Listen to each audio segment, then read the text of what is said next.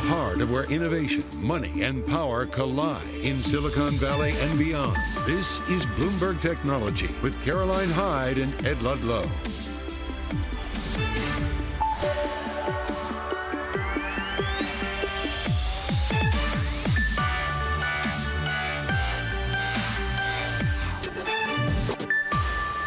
I'm Caroline Hyde at Bloomberg's World Headquarters in New York. And I'm Ed Ludlow in San Francisco. This is Bloomberg Technology. Coming up after staying out of public view for years, Alibaba founder Jack Ma, he speaks out to his own employees, urging them to correct the company's course. We'll have more on the e-commerce giant's plans to compete with rivals like PDD. And we'll hear from Amazon Web Services CEO Adam Selipsky off the back of the company's reInvent conference discussing AI, Nvidia, and a lot more. Plus, Apple offers Goldman Sachs an exit ramp for its troubled card partnership.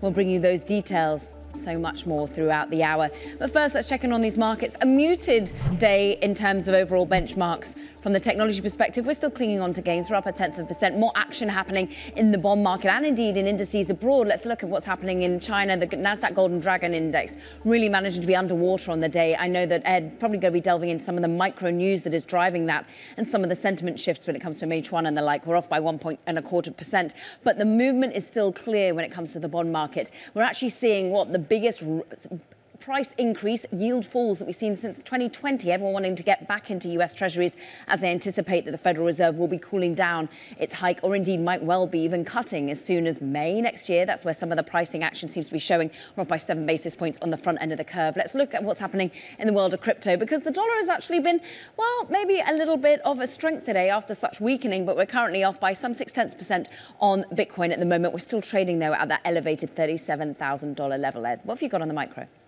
Look, there's still a lot of news coming out of China's technology sector. The surprise move for Jack Ma, who's not been operationally involved at Alibaba since around 2020, putting out this internal memo saying they need to correct the course. These are the US listed shares of Alibaba, down 2.6%. But what was interesting is him praising rival Pinduoduo. And we're going to have team coverage of this story later in the show. It isn't straightforward, but it is a surprise move, and it is moving markets, at least on the US listed shares, as you can see. Another big story that we're going to is Apple and Bloomberg reporting via a Bloomberg source that they've issued this term sheet to Goldman Sachs saying we have a way to unwind the relationship on the credit card and the savings account. Again, it is not straightforward. We're going to get the Silicon Valley take from Mark Gurman and the Wall Street take from Sonali Basak later in the program. Amazon down four tenths of 1%. I just flagged that because we will hear from AWS CEO Adam Selipsky on a chatbot. It's called Q. I'll tell you why later in the show. But it hasn't really done anything to move the needle on the shares, despite all of the announcements that they put out yesterday afternoon. Yeah, so many announcements, thick and fast, whether it's working with NVIDIA or indeed as its own chips internally. But before that, let's just go to what this macro picture looks like. We're just looking through the bond market. We're looking at the impact on the tech sector more broadly. Alessio De Longis is with us. He's Senior Portfolio Manager over at Invesco. And, well, Alessio, the amount of run up that we've seen in tech stocks has been phenomenal for November, and we know how much it's led the benchmarks. Is this going to continue from your perspective? Thank you, Karen and Ed, for having me. Uh, we think actually the, uh, the, the global yield backdrop that you just highlighted um, is likely to, um, to stimulate a cyclical rebound into year end and into next year. Um, as you alluded to, uh, tech has been driven primarily by obviously a thematic uh, uh focused um, uh, artificial intelligence narrative and also supported by the declining global bond yields as of late. But what we think is really happening is that this declining bond yield will lead a cyclical rebound because it's primarily driven by a fall in inflation expectations and actual inflation, which will, in our mind, uh, create a more supported narrative for a soft landing and therefore allow uh, market participants to believe again in a cyclical rebound in the cyclical sector. So we do think uh, tech has outperformed because of its quality characteristics, its defensive characteristics, its higher duration characteristics. But now we do expect a rotation more to the sectors and styles that have been neglected and unloved, such as smaller capitalizations and uh, value-oriented sectors. Is banks one of those? We're just looking at a banner at the moment, the FDIC coming out with its annual report and actually talking about how profit, profits, bank profits are dipping as they say uh, ultimately that loans are the next pain point at the moment that they're seeing. And, and most notably, they're saying the banking industry on this quarterly focus has got some unrealized losses that are increasing in the third quarter. So is it now the time to be getting into banks? I think you're alluding to a very important point. We have now just dealt for over a year of yield curve inversion, which we know uh, creates a particularly challenging environment for financials. The yield curve is beginning to re-steepen, and um, if we do see uh, uh, rate cuts into next year, um, a powerful re-steepening of the yield curve would uh, improve materially the forward perspective on, on, on bank profits. So we do place financials and banks as part of that cyclical sector that is likely to benefit together with others uh, if um, our thesis of a cyclical rebound and re-steepening of the yield curve does play out. Alessio, you take this kind of worldview Uh, from a capital allocation standpoint, right? You are kind of more heavily weighted toward equities. But the world of technology is big. We just talked about China. We're increasingly talking about Europe. How do you guys feel about tech in the United States vis-a-vis Europe and parts of Asia? Well, tech, the, the clearest expression from a global standpoint of the tech theme or that quality theme that comes with it, large profit margins, large return on assets, it's really a United States theme. When you go outside of the United States, there is more uh, uh, small, smaller capitalizations uh, companies that are likely to benefit more from that cyclical rebound. But it's really, uh, there is a bit of a polarization happening in the structural capital markets, as you alluded to, where being overweight the United States relative to the rest of the world basically means being overweight tech relative to value, relative to cyclicals. They are two manifestations of the same uh, risk and return profile.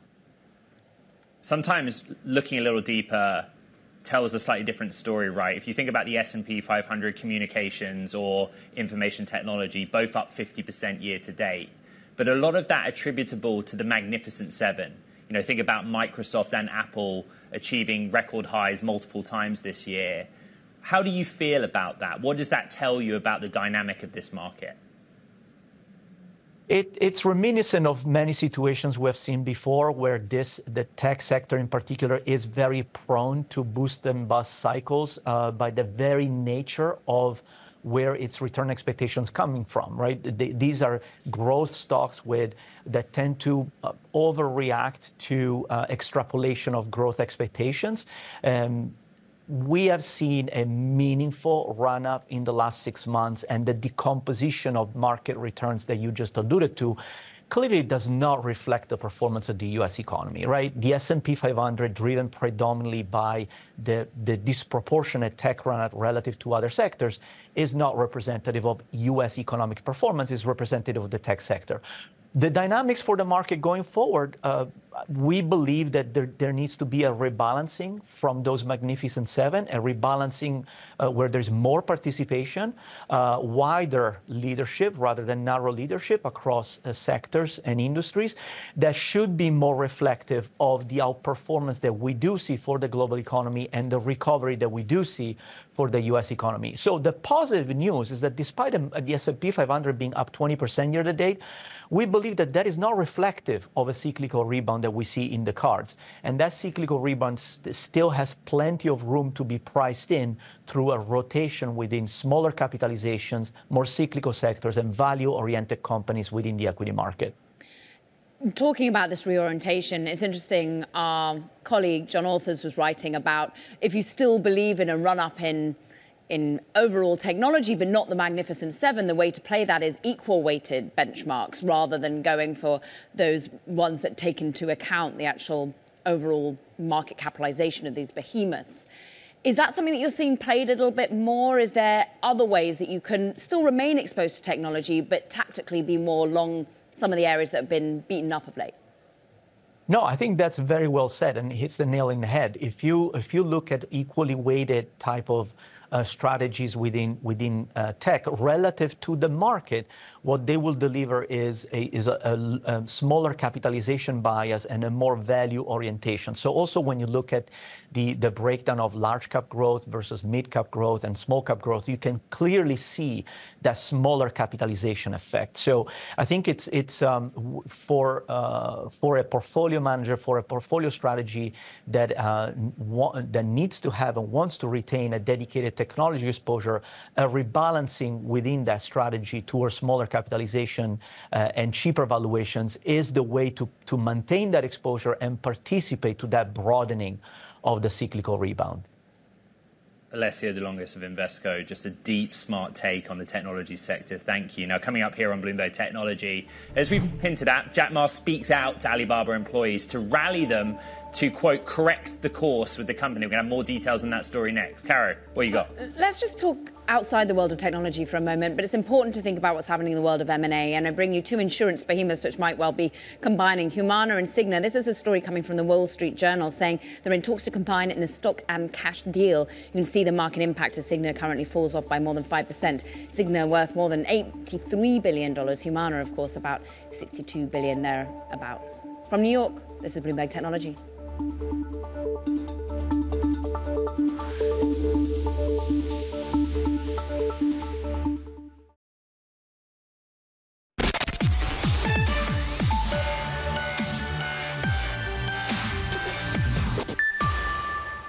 Alibaba founder Jack Ma is actually speaking out to employees at the company in an internal message urging Alibaba to, quote, correct its course. We want to dig into what all of this means. We want to bring in Bloomberg's Henry Ren and Isabel Lee. And Isabel, I start with you because is this a rallying cry? Is this sort of in any way a negative impact? I mean, what does this do to morale when he's bigging up competitors, saying that there's an opportunity in AI? Is he meant to be sort of helping with morale or detracting from it? So this is really interesting, and it shocked a lot of investors because remember in 2020, Jack Ma largely stepped away from public eye when he criticized Chinese regulators. So many articles were like, "Where is Jack Ma?" And today he makes a comment, and there are three things to look at this. I think first is um, the fact that he commented, because to your point, I think it meant was meant to encourage troops, but then we have analysts saying that it perhaps may have done the opposite and deflated them because why are you commenting? And the second is where? And he did it in a forum. And he and the message is also interesting because he praised PDD, his rival, which is which has grown to be a formidable competitor in recent years. And he said Alibaba needs to course correct. So that's second. And right. the third is the timing, because this comes shortly after PDD again reported blockbuster results. So I am not sure if it actually motivated folks, but it's really interesting the fact that he commented, I would think. It is a surprise in and of itself that somebody who hasn't been operationally involved since 2020 comments at all and then calls out one of the biggest rivals saying the following about Pin Duo Pinduoduo. But here's the story as I see it. Bring up the chart and show the performance on the ADRs at least of Pin Duo Pinduoduo, the owner of Temu, versus Alibaba. And the chart speaks for itself, right, Henry? Just explain to the audience, Henry, the battleground between Alibaba and Temu, owned by Pinduoduo on the e-commerce side? Yeah, definitely. Just as Isabel said, this comment comes from a very interesting point of time. On one hand, you have the incumbent Alibaba, which is struggling to gain ground in domestic market. It has its strategy changed. It recently canceled the plan to spin off and list its cloud unit. But at the same time, it's going through management reshuffle as well. The, at the other side, you have the challenger Temu and its owner Pinduoduo. So at the domestic market, Pinduoduo is gaining share rapidly, aggressively by cost cutting and price cutting as well. And at, at the overseas playground, Pinduoduo is winning share by its Temu super app, and it's planning to uh, in to roll out another uh, ads during the Super Bowl um, mid-time show as well. So which shows that Pinduoduo is really gaining ground in the U.S. market, in UK, and other side of the market as well. So you see that from the two spectrum, you see on one hand Alibaba is waning, but on the other hand, Pinduoduo, the PDD, is definitely gaining ground rapidly. Henry, I like that you dig into the restructuring and the on again, off again sort of versions of it. Bloomberg Intelligence put out a piece saying actually this call out by Jack Ma seems to reaffirm that indeed the restructuring is still going to be upon us. What does it end up looking like, Henry? So remember, um, Jack Ma ceded his control as CEO of Alibaba in 2014, and he barely um, entered the public appearance in the last two years due to the tech crackdown. And now he's re-entering the public sphere. He's now commenting in the company's internal messaging board. Um, lots of analysis about this, and mostly it's about it has been some time um, in this uh, company's history that this company is, run by some companies, uh, some, some executives that doesn't have a close link with Jack Ma himself. But now Jack Ma re-entering this public sphere might mean that Jack Ma might have more control of the company's strategy, more company's management as well. This is something that we will wait and see. There was a time where Alibaba was going to be China's trillion dollar market cap company. It was going to be China's, you know, equivalent of the Silicon Valley darlings, Apple, etc. And a lot has happened this year. You know, there has been leadership shuffles, Isabel. I think it's worth reminding everyone who actually runs Alibaba as it stands.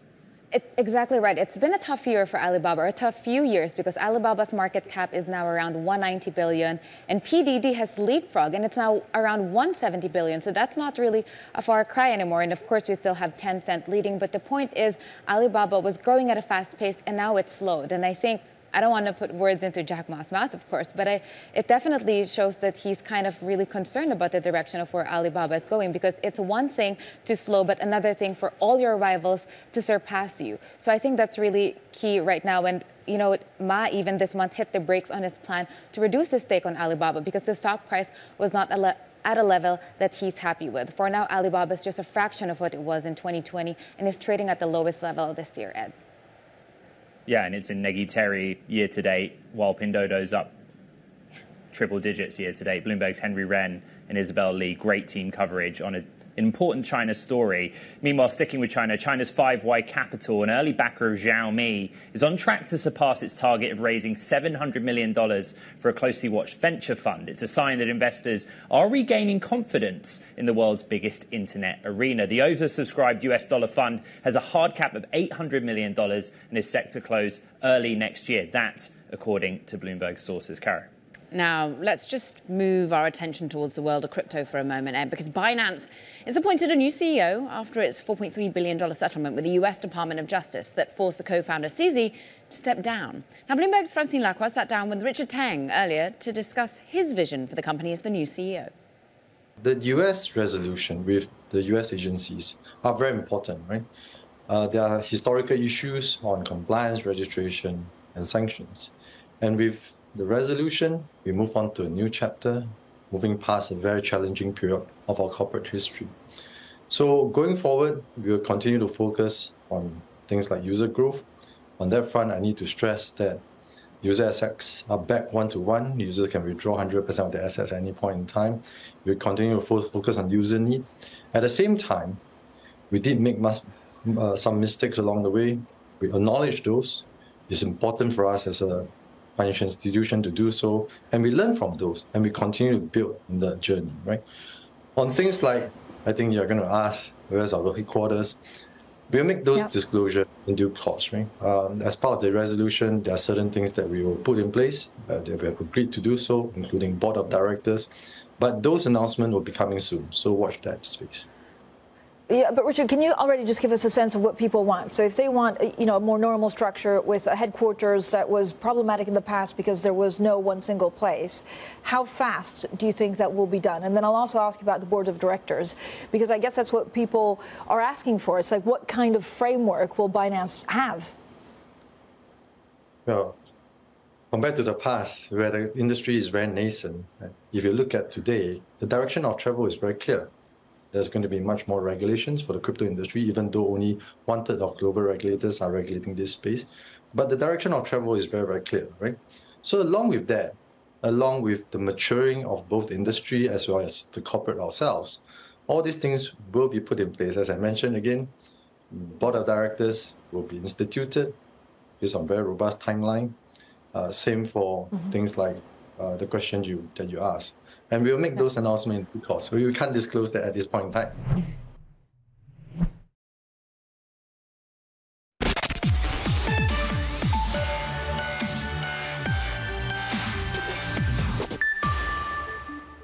It's today's big take. And we're taking a look at an issue that's been rising along with AI generated content, coming closer and closer to real images.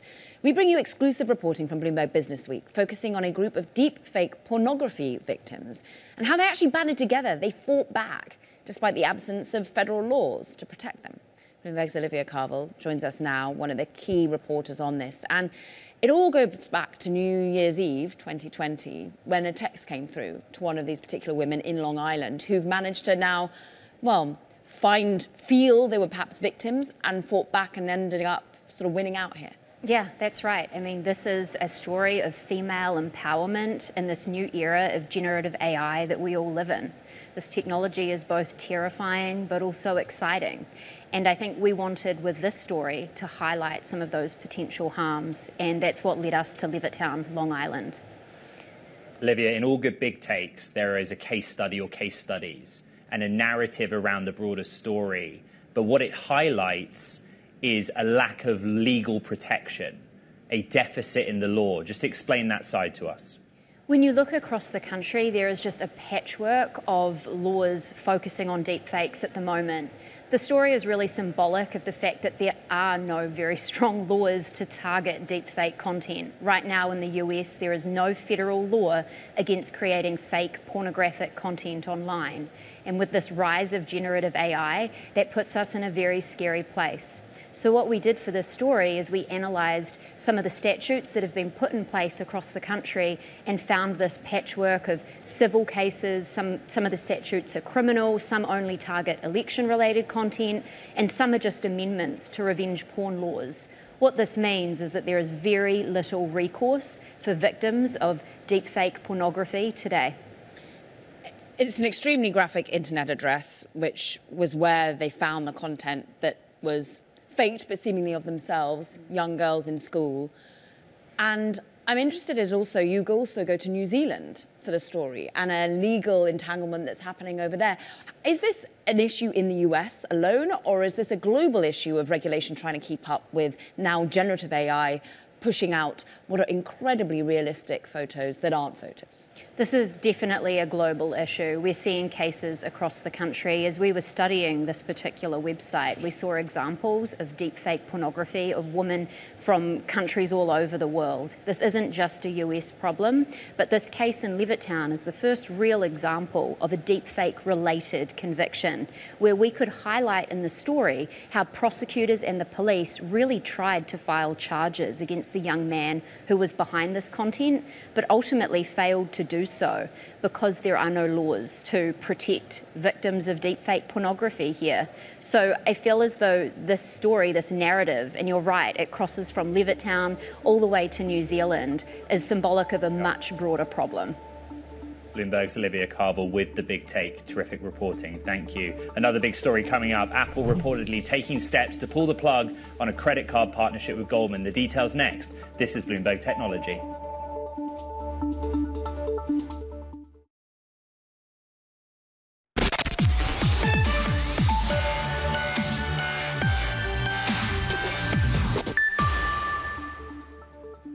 Welcome back to Bloomberg Technology. Ed Ludlow here in San Francisco. I'm Caroline Hyde in New York. Let's get a check in on these markets because really it's the macro picture that drives what's happening in the benchmarks and the bond markets at the moment. We, of course, get GDP that looks strong. We have, though, the inflationary pressure from the PCE, that well liked number that the Federal Reserve analyzes, just showing that cooling down in price appreciation. And most notably, the fact that the Federal Reserve is still seeing a lot of its speakers out there talking about how inflation just looks like it can be under control at the moment, the policy where it stands. NASDAQ currently up some quarter of a percent. The big moves are happening in the bond market once again. So we see that yield pulling down on the two year, on the 10 year, across the curve, really. Looking at Bitcoin, though, on the downside versus, well, a US dollar that we've actually seen slightly rebounding on the day. So maybe that's the driver of choice today. And crypto, we're down by six tenths of a percent. Moving on to some of the individual names in the macro perspe- micro perspective, though, because I'm looking at what's happening in the world of Golden Dragon China Index, the NASDAQ Golden Dragon. This is what, of course, is the Chinese names traded here over the United States, ADRs, and actually under pressure after we saw, well, Meituan's numbers showing a lack of resiliency. We're still worried about a Chinese consumer and indeed Alibaba. Jack Ma coming back to speak out and say you need to take on PDD, which actually did incredibly well in its numbers. We're looking at what's happening in HPE as well. It came out with its numbers yesterday after the bell. We're seeing a rebound up some 7, 7%. Why? Well, it's not its server business, that's for sure. It's all about its resiliency in artificial intelligence that manages to buoy this stock. And I'm interested in the AI read across when it comes to Amazon as well, Ed. We're looking at just off by about 4 tenths percent on Amazon, but they have been doing well earlier on the day, as we saw reInvent, of course, that annual gathering of its customers, really managing to paint a position of, well, combative and compet- competitive nature that Amazon's coming at this when it comes with its chips, of course, that it's making and managing to make generative AI part of the corporate lexicon too, Ed.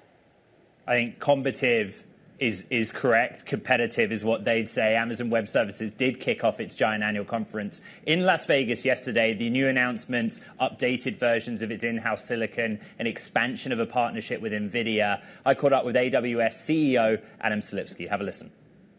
Well, I think our strategy has been very consistent. It is to provide yeah, choice and powerful uh, options at all layers of the stack.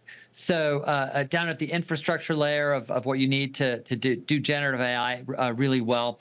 Uh, as you mentioned, we uh, both have been investing in our in our own silicon, and then we we have had a long-standing, uh, wonderful relationship with NVIDIA. We've been the first to bring pretty much every significant NVIDIA chip to the cloud, including their latest H100 this past summer. And I was really excited to have uh, their CEO, Jensen Huang, on stage with me this morning, talking about uh, an expansion of the partnership with, uh, with AWS. Uh, bringing their DGX cloud to, to, to, to, AWS. And NVIDIA itself is going to be standing up a huge supercomputer of a cloud for their own internal R&D on AWS. So it's a, a fantastic expansion of what's really a, a great relationship that benefits our mutual customers. Adam, are there still supply constraints around NVIDIA GPUs?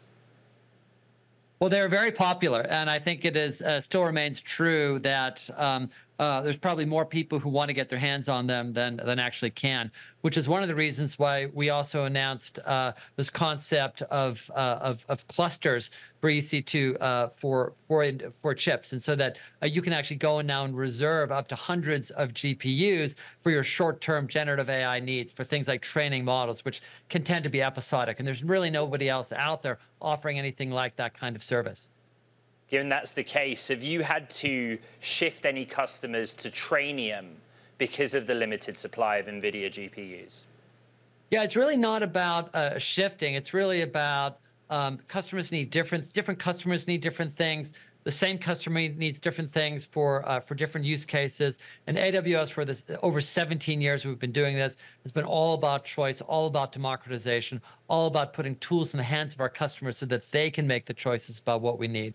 And so uh, we're also excited that we announced the second generation of our uh, training specific chip for uh, training generative AI workloads, and that is uh, Trainium 2. And that's going to have up to four times the compute performance of the first generation of Trainium. We, of course, have been investing in our own custom silicon for years. Uh, we also today announced that we're shipping the uh, uh, preview of our fourth generation of general purpose chip, Graviton 4. I happen to have one with me right here. This is a Graviton 4 chip. Uh, we're not talking about it. We're not showing slides on it. Uh, it's not future looking like a lot of other cloud providers. Yeah, it is shipping today. And uh, again, our fourth generation. Uh, the power is incredible. The price performance is, incre- is going to be incredibly attractive. And uh, uh, our chips also have incredible uh, energy efficiency benefits, which is really, really important to our cu- customers these days. A bit of shade being thrown there, Caro. We also finally got a chat bot from Amazon. It's called Q. Any idea why it's called Q? Please tell me it's something to do with the British Secret Service. It is not. I did post that on X. It is not. Q stands for question. Oh, that's boring. it. That was the rationale from the, not the, Star Trek, the boffins inside. Amazon. I know. that's it. Oh. oh well, gotta love it. Chatbots taking over the world. Meanwhile, well, let's talk about whether or not Apple's focus on fintech has been taking over the world or not, because it's actually taking steps towards winding down its credit card deal with Goldman Sachs. Sources say Apple recently sent a term sheet to, well, perhaps a different institution, which has been trying to ultimately see a pullback from a credit card business for Goldman Sachs at the same time. Let's get more context from Bloomberg News Wall Street reporter Sonali Basak. We've also got Bloomberg News chief correspondent Mark Gurman. And Mark, let's start with you on the Apple Goldman relationship because, well, it hasn't been as positive as both would have liked, it feels like. Yeah, the Apple and Goldman Sachs relationship has been rocky from the beginning. The Apple Card's development, everything that had to be done on both the Apple side and the Goldman side, really it was a rocky development process. It was two companies getting into a new game together, right, for the first time. A lot of back end changes had to be created both at Apple and Goldman Sachs. You had two companies run by people with big personalities, with engineers, with different backgrounds coming together to build something, right? That's what a partnership is. But when you have two really intense companies, two intense groups of people, opinionated groups of people who believe they're doing it best, sometimes that could come to a head right? And what you've seen is you've seen pretty good consumer reception uh, to the Apple Card and the other fintech products from Apple over the past few years. But what you've also seen are some struggles. Goldman, in particular, this has been a multi hundred million dollar, uh, if not multi billion dollar loss and proposition for Goldman Sachs. And so their skin in the game has been little more than a branding exercise. As we've written several times, and I'm sure Sonali can talk about, Goldman has been pulling back from consumer businesses. They've pulled back on other credit cards and such. And Apple needs to sort of save face here. They need to have a strong partner in the credit card game. And being with a company that has been publicly one foot out the door, maybe one and a half feet out the door, maybe even two feet out the door, you know, that really doesn't serve Apple well long term. So what they've done is they sent a proposal to Goldman Sachs to get out of this partnership. This is being able to get out in about two, three years from now versus when the deal is supposed to end in 2029. So I don't know if that means Goldman has to make some sort of public acknowledgement about exiting. I don't know if Goldman has to pay a certain amount. I don't know if Apple has to reduce its payments to Goldman, but they've sent a proposal to Goldman to let Goldman walk about five years early from this partnership while Apple can go ahead and look for someone else to replace them. Sonali, we can get into to Apple's position long term on a card because it looks like the Apple side of the card ain't going anywhere.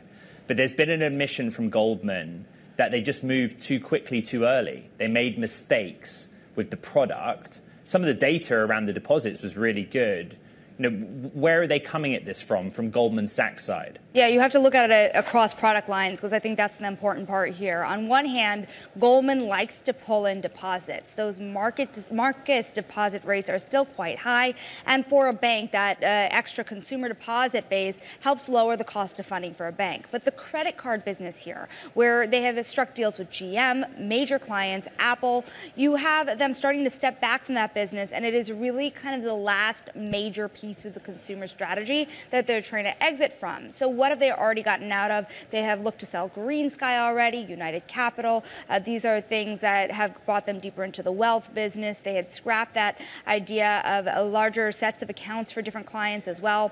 But uh, the GreenSky was a home installment loan business, of course. So where does that leave them? It leaves them with all these card deals. And Apple is, uh, you know, this, by the way, for Goldman could have been a problem that could have lasted them years. And when it comes to the Apple Card in particular, one problem, Ed, was the servicing of these clients as well as the loss rates. Because the idea here that Apple wanted more of their clients to be able to get credit through these cards, and so they pushed for that to happen. And now you had Goldman stuck with those loss rates, really bringing down the profitability of the business overall. Now, according to the Wall Street Journal, some of the potential people that could take on these uh, th- this card business alongside Apple could include American Express, could include Synchrony, but some of the issues I've outlined for you over there at Goldman would still hold true for them as well.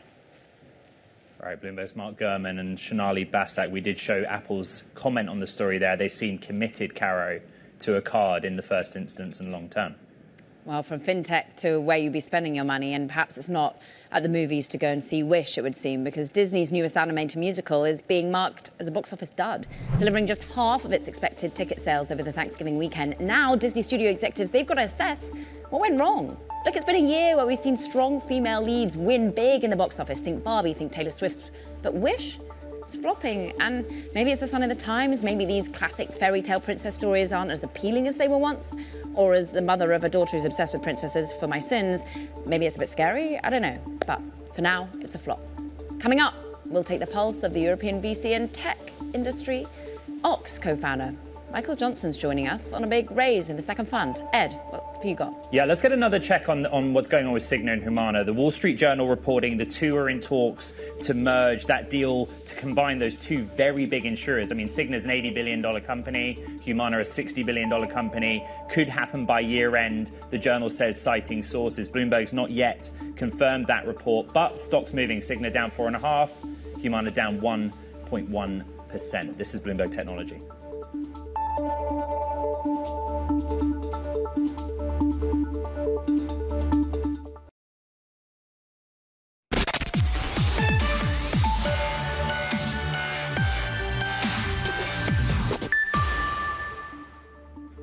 Stability AI has explored selling the company with management facing increased pressure from investors over its financial position. That all according to Bloomberg sources. A deal is not imminent, and the company could, of course, cut the process short without selling. Let's bring in Bloomberg's Rachel Metz, who broke this one. We've been chasing what's going on inside Stability for a little while. Looks like there's a for sale sign in the digital window, and Emad is under pressure. What have you learned?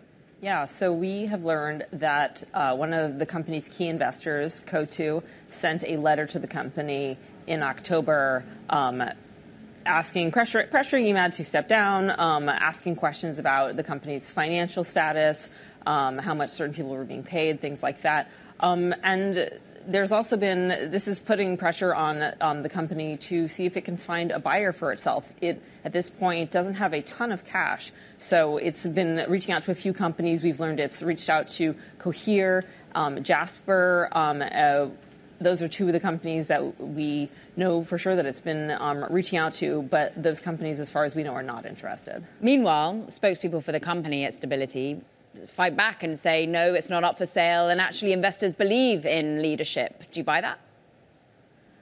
I mean, I think these things are always complicated, and it, it, it, could be sort of both ways at once, right? They have plenty of investors, uh, but it is certainly clear that some of its key investors are not happy with the direction that the company has been going in, for sure.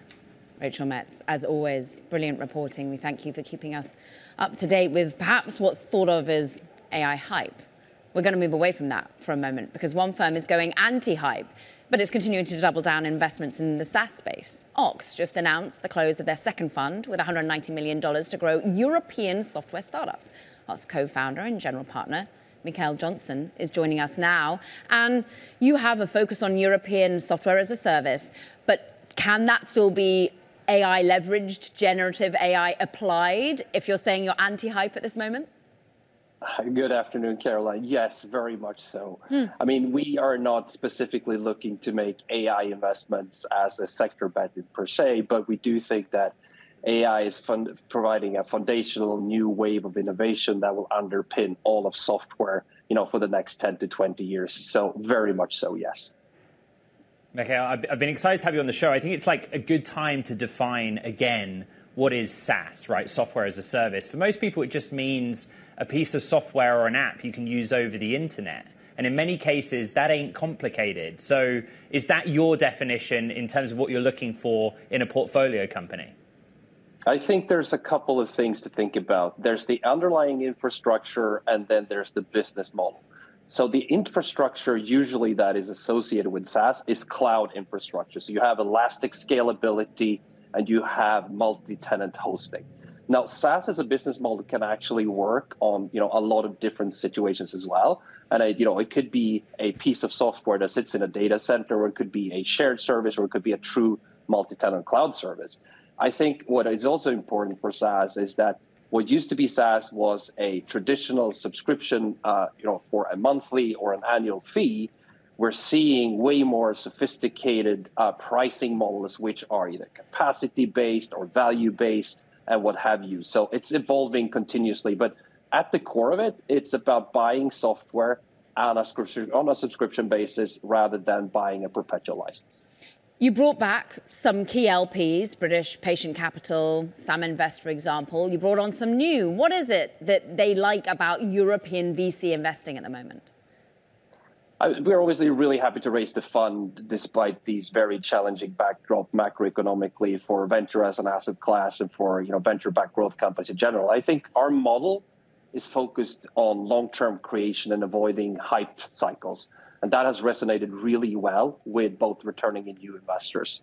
Specifically, as it relates to Europe and you know investing into software in Europe, there's uh, you know a, a, sort of coming of age where a lot of people are recognizing that the factors that have historically favored perhaps much more U.S. companies are you know not as important today when it comes to the availability of talent, when it comes to the availability of actually dealing in distribution, and in terms of how to thinking about scaling commercially, even if you start out in Europe with an ambition to have a globally leading company.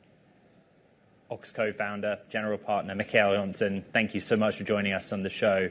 here on Bloomberg Technology. And coming up here, we'll have more on the outlook for tech investing with Niccolo De Masi, chairman of the Futurum Group.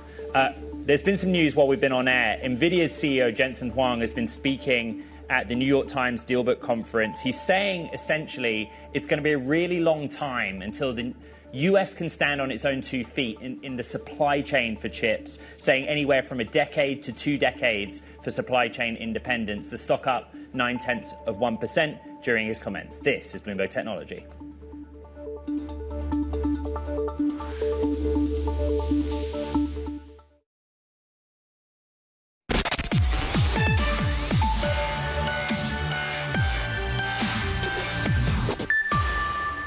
The great thing about this technology, which it's hard to believe is just uh, coming on to the year anniversary. It seems like it's been here much longer and the pace has been incredible. Yeah. Is the fact that you can actually put it in the hands of business people. And I think that, above all else, has really unlocked the ability for people to really like imagine what how this can be used in their businesses. A little bit earlier, I was on stage with JP Morgan Chief Data and Analytics Officer Teresa Heitsenrether. And we want to discuss a little bit more about how AI is actually bringing in money, boosting revenue, being commercially viable at the moment within not just finance, but across the board. Niccolo De Masi is chairman of the Futurum Group, and you sit on a number of boards. You were once named a SPAC king. We'll delve into that in a moment. But I'm interested at the moment with IonQ, for example, quantum computing company. How are you seeing the commercialization opportunities of generative AI within the companies that you help, well, oversee?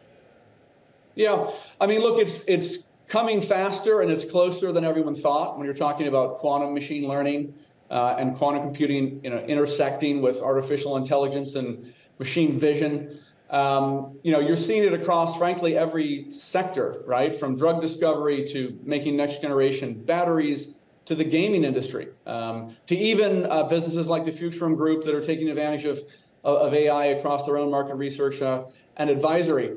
Um, I think quantum advantage is going to happen sooner than people think, and it's going to surprise a lot of people.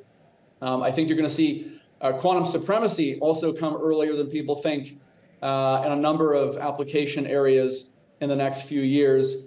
Uh, and I've been excited to watch the, the breadth of my portfolio have an early lead in their respective segments, right? I'm quite proud of the fact that we invested early on every every board I'm on, every company I'm involved with, and they really are leaders in the respective areas. Increasingly partnering with cloud players, Amazon, right. Microsoft, Google, hyperscalers, and a lot of uh, what I see a lot of is the strong partnering with the strong, right? Whether that's NVIDIA with Amazon, IonQ with Amazon, Microsoft, Google. And I feel like the strongest companies in AI are actually entrenching their leads right now. Hey, Niccolo, real quick though, lots of emphasis on, on the top line revenue, right? People making money. But the lesson learned has been the compute costs are astronomical. How worried are you about sort of long term anyone actually making any profit from all of the R&D and the training and inference they're now doing? Well, quantum computing is actually a solution to that, right? In terms of energy usage per, let's call it calculation or, or clock tick, right? If you look at IonQ's, quantum computers, they're tiny. They don't use a lot of power compared to something that, you know, a national lab is running, right? Um, and so I'm actually quite bullish that by, by 2030, quantum AI through the cloud is going to change people's perspective on that question you just asked. Um, but at the moment, you're correct. There's a race on that no industry and no company can afford to lose, right? If you're a financial services firm, your prop trading arm is not going to make any money if you don't have the latest quantum computer and the latest AI helping your team. Same in drug discovery, same in you know, defense and aerospace, same in cryptography. Um, and so I think people right now you know, have no choice, and that means the vendor supplier relationships the kinds of companies the Futurum Group's always advising uh, are really front and center right now, having to think through where they put their dollars to make sure they max it out, you know, quarter in, quarter out. Short but very sweet. We thank you for your time, Niccolo De Masi, chairman of the Futurum Group. All things focused still on AI, of course. And that does it for this edition of Bloomberg Technology, Ed. Check out the podcast wherever you get your podcasts from San Francisco, New York City. This is Bloomberg Technology.